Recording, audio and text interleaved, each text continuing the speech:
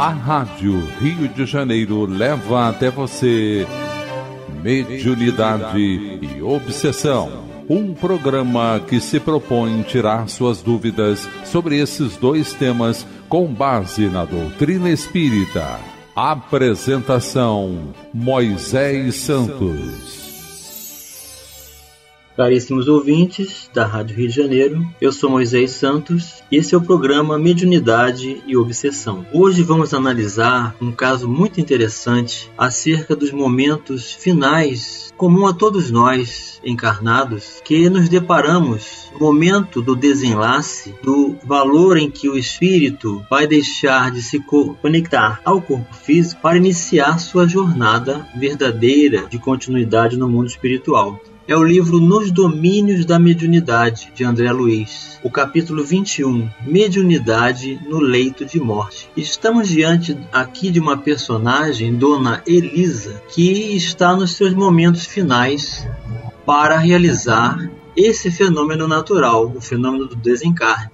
Os médicos já observaram que o seu coração está exausto e que há uma intoxicação alarmante provocada por um elevado teor de, de ureia, o que significa que a sua resistência física está muito debilitada. Superexcitada, aflita, declarava-se perseguida por um homem que se propunha abatê-la a tiros. Clamava pelo filho desde muito na vida espiritual e dizia ver serpentes e aranhas ao pé do leito a despeito do suor pastoso de quem se aproxima da morte e da extrema palidez que lhe desfigurava a máscara fisionômica, fazia supremo esforço para continuar falando em voz alta. Então, meu caro ouvinte, observe bem, nós estamos aqui diante de um fenômeno de construção do próprio pensamento, somado aos compromissos não resolvidos da comunhão ou simbiose de valores em que determinam os processos obsessivos e que nesses momentos finais, o desenlace que vai ocorrendo aos poucos faculta-nos a possibilidade de enxergarmos não só os espíritos com os quais temos ligação e estamos a caminho para resolver com o amor, com o perdão, com a piedade, e enquanto não estivermos dispostos a realizar esse processo, estaremos ali vinculados ao mecanismo dessa necessidade, e é o que está acontecendo com Dona Elisa, e também das imagens que ela está criando pelo fenômeno das formas pensamento, da ideoplastia. Meu caro ouvinte, você sabe o que é a ideoplastia? Vamos esclarecer esse conceito. Esclarecendo conceitos. O vocábulo ideoplastia foi criado pelo Dr. Duran de Gross em 1860 para designar os principais caracteres da sugestibilidade. Mais tarde, em 1864, o Dr. Oshoverix o empregou para designar os efeitos da sugestão e da autossugestão, quando ela faculta a realização fisiológica de uma ideia, como se dá nos casos da estigmatização. Finalmente, o professor Richer o propôs quando das duas experiências com as senhoritas Linda Gazera e Eva C. entre 1912 e 1914, cujas experiências demonstraram, de feição nítida e incontestável, a realidade da materialização de semblantes humanos, que eram por sua vez reproduções objetivadas e plásticas de retratos e desenhos vistos pelos médiuns. Claro que desses fatos dever-se-ia, logicamente, inferir que a matéria viva exteriorizada é plasmada pela ideia. Pelo pensamento, o indivíduo cria formas pensamento, criações mentais ou ideoplastias, de duração mais ou menos longa, que podem ser projetadas objetivamente e serem captadas pelos espíritos que já desencarnaram ou que se encontram neste plano de vida. Estas formas de pensamento podem ser fotografadas por meio da fotografia escotográfica, termo proposto por Felícia Scatcherd no primeiro Congresso Internacional de Pesquisas Psíquicas, realizadas em Copenhague em 1921. Seria a impressão no escuro em oposição à fotografia propriamente dita, que é a impressão pela luz. O ser humano pensa por meio de imagens, as quais acoplam ideias, podendo transmiti-las a outrem pelo pensamento, telepatia, gestos ou expressões corporais, linguagem do corpo, independentemente do plano de vida em que se encontra.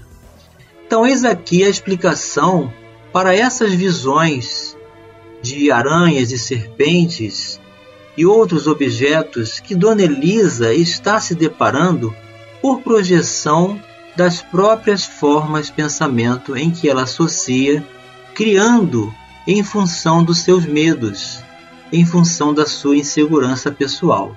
O facultativo convidou a dona da casa a entendimento reservado e comunicou-lhe as péssimas impressões de que se via possuído. A enferma deveria prosseguir com a medicação de emergência, à face da crise.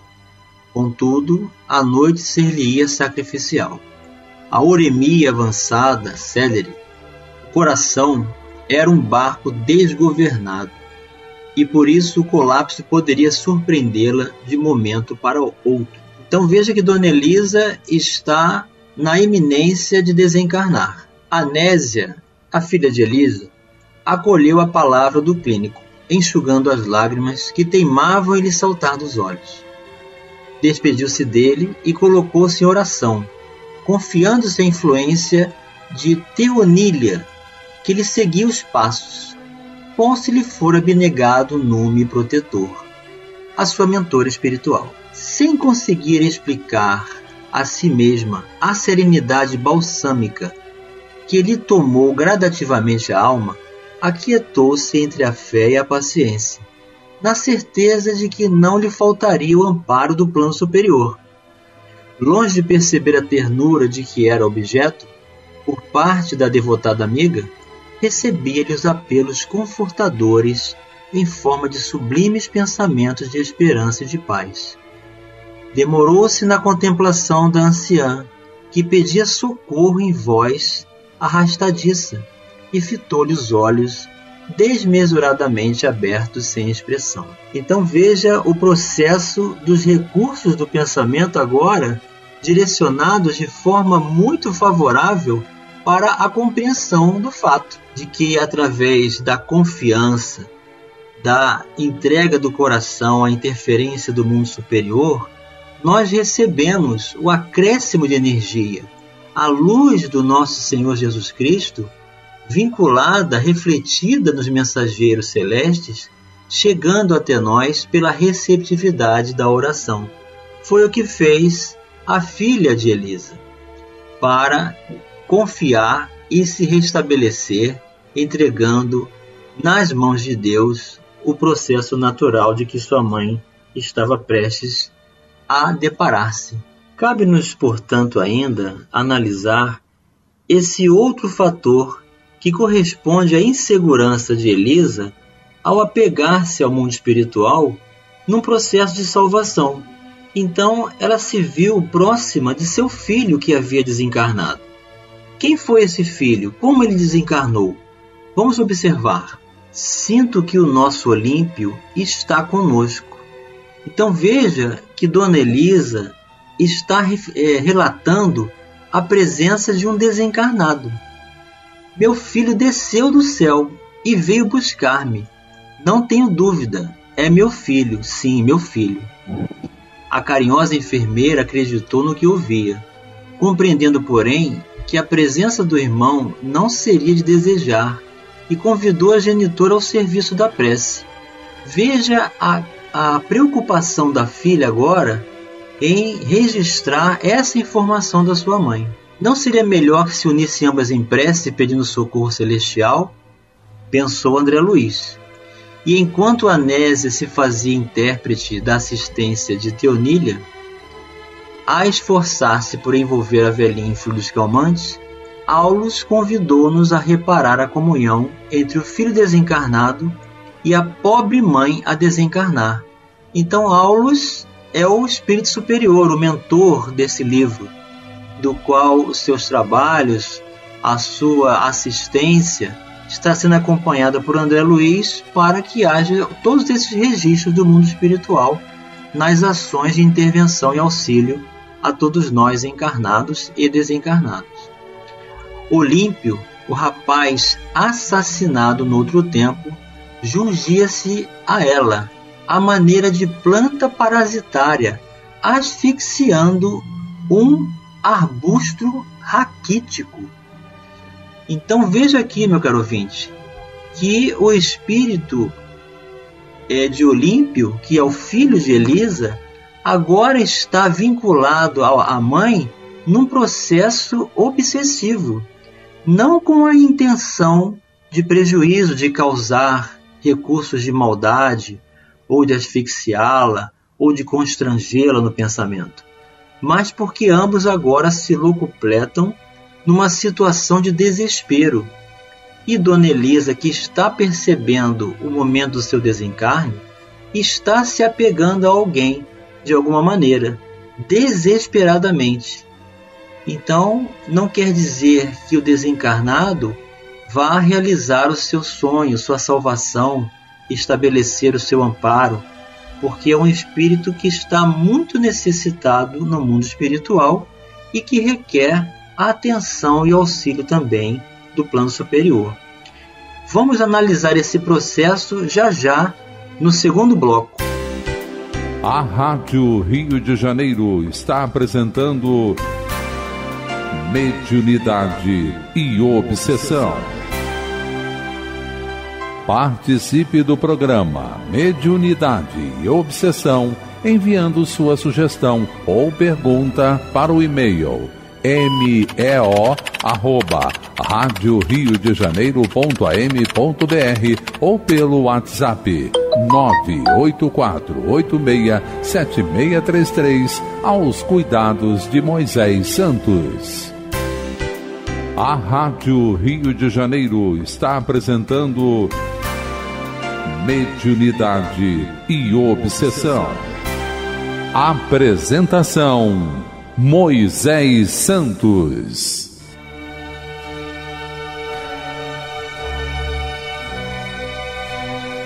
Caríssimos ouvintes da Rádio Rio de Janeiro, voltamos agora para o segundo bloco do nosso programa de hoje, onde estamos analisando o tema Mediunidade no Leito de Morte. É o capítulo 21 do livro Nos Domínios da Mediunidade, do Espírito André Luiz, Psicografia de Francisco Cândido Xavier, onde estamos analisando o fenômeno da ideoplastia e de um processo obsessivo aparentemente ingênuo na sua proposição, mas que traz toda uma necessidade de carência, toda uma estrutura de instabilidade e falta de preparo para esse momento grave e que na, na realidade é um processo em que todos nós vamos passar, o momento do desencarne. Estamos analisando o processo de Dona Elisa, que se apegou ao filho desencarnado, e que agora Aulus vai nos trazer a história desse rapaz Olímpio que desencarnou precocemente. Então, Aulus nos dá a sua palavra de esclarecimento. Nossa amiga, refere-se a Dona Elisa, explicou o assistente Aulus, em sua doce afetividade, supõe no filho um gênio guardião quando a realidade é que o infeliz se deixou dominar, mesmo depois de perder o veículo carnal, pelo vício da embriaguez. Alcoólatra, impenitente, caiu ante o revólver de um companheiro, tão desvairado quanto ele mesmo, numa noite de insânia. Desligado da carne e já intensamente minado pelo delírio tremens, entre aspas, não teve forças para mentalizar a recuperação que lhe é imprescindível e prosseguiu em companhia daqueles que lhe pudessem facultar o prolongamento dos excessos em que se compraz. Evocado, contudo, pela insistência materna, veio parar neste quarto, onde se encontra enleado pelas requisições da irmã Elisa. Acontece, no entanto, que, em se libertando gradualmente do vaso físico, nossa irmã transfere o campo emotivo do círculo da carne para a esfera do espírito, passando compulsoriamente a sofrer o influxo pernicioso da entidade que ela própria trouxe para junto de si, usando a vontade e o pensamento. Na posição em que se colocam, são ambos assim, por força das circunstâncias, duas mentes sintonizadas na mesma faixa de impressões, porque enfraquecida qual se encontra, a enferma se submete facilmente ao domínio do rapaz, cujo pavor e cujo desequilíbrio se lhe transfundem na alma submissa e afetuosa. Então veja aqui o processo obsessivo instalado por conta da ignorância desta senhora que está por desencarnar, que clamou pela assistência do próprio filho e que julga que ele seja um guardião, um libertador para é, recebê-la nos céus.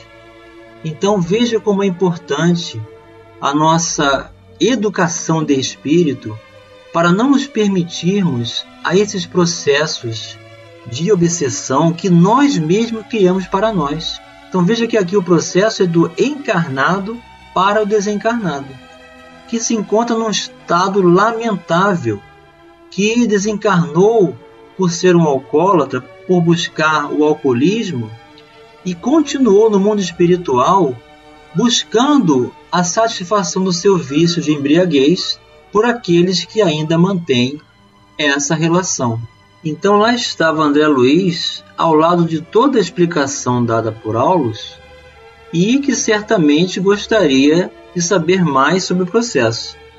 Então André Luiz, analisando o fenômeno, perguntou se a associação no caso que estava ocorrendo poderia ser associada ou comparada à incorporação mediúnica, qual a conhecemos. O que o orientador respondeu: sem qualquer dúvida, confirmando.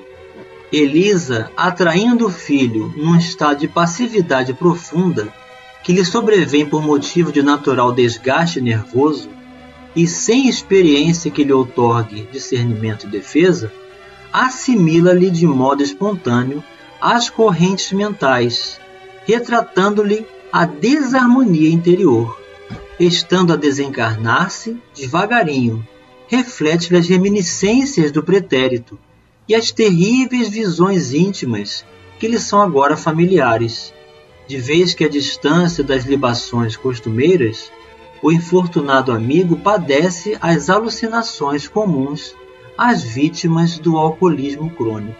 Então, meu caro ouvinte, nós observamos aqui a comparação com o fenômeno mediúnico.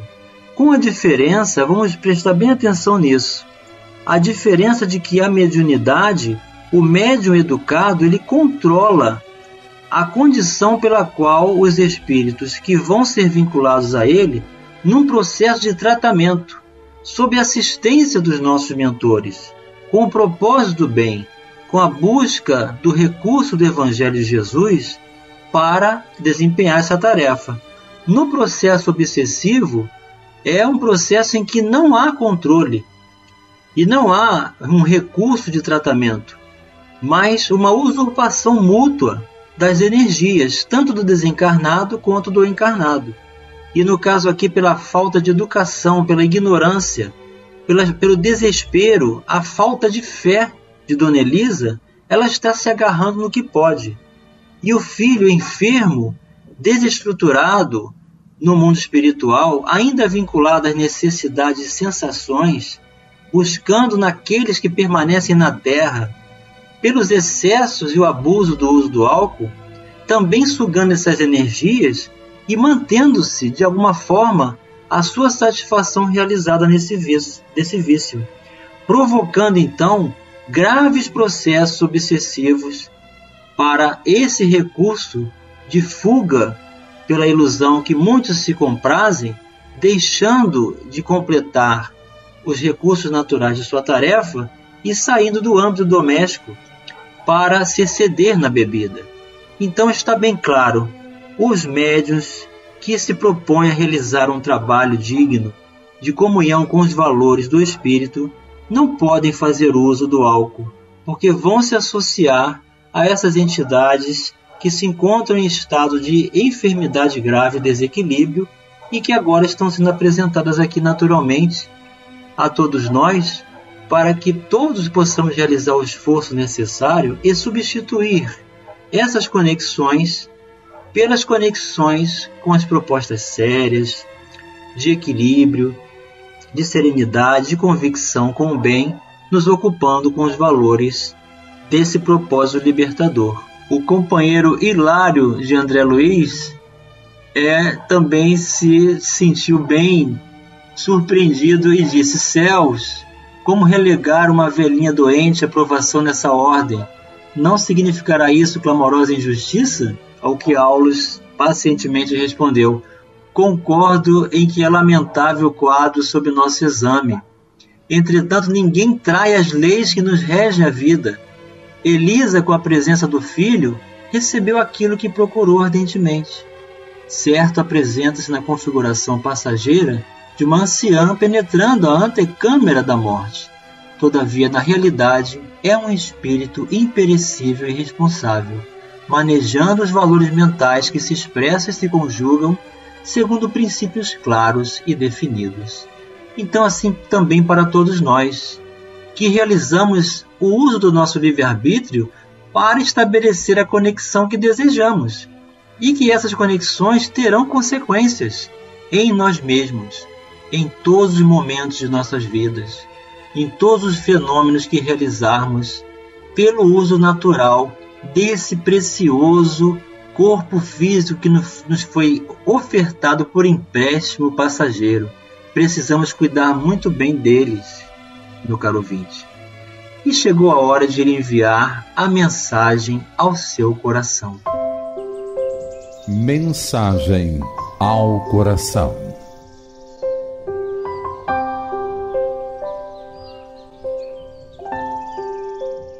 do livro Mediunidade e Sintonia, pelo Espírito de Emmanuel, psicografia de Francisco Cândido Xavier, o capítulo 17. Sigamos acordados. Não permitas que o desgosto menor te conduza ao fracasso, para que o fracasso te não conduza aos desgostos maiores. Lembra-te de que a Terra é a nossa antiga escola de aprimoramento espiritual e não lhe menoscabes as lições.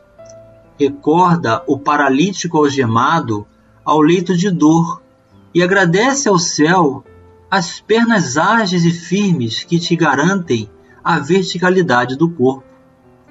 Considera o mutilado a quem falta a bênção das mãos e valoriza os recursos que te fazem encontrar no trabalho a fonte da alegria. Não ouvides o cego às vezes na bruma das lágrimas e utiliza os olhos na procura do bem.